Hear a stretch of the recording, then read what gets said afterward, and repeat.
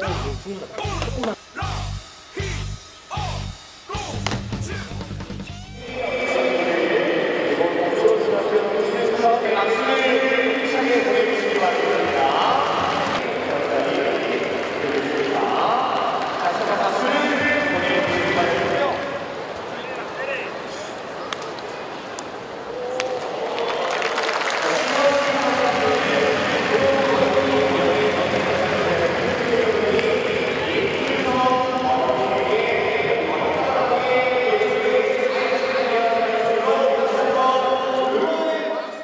안녕하세요. 동구로 초등학교 12살 임준석이라고 합니다.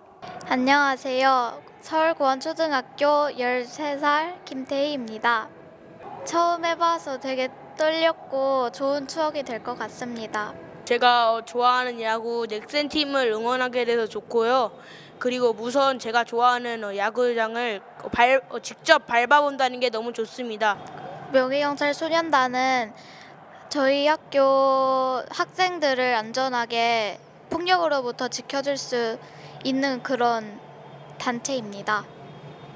오늘 선수들 모두 다 최선을 다해서 이기시길 바랍니다. 어, 제가 어, 넥센을 좋아하기 때문에 어, 오늘 열심히 해서 승리로 됐으면 좋겠습니다. 넥센 화이팅!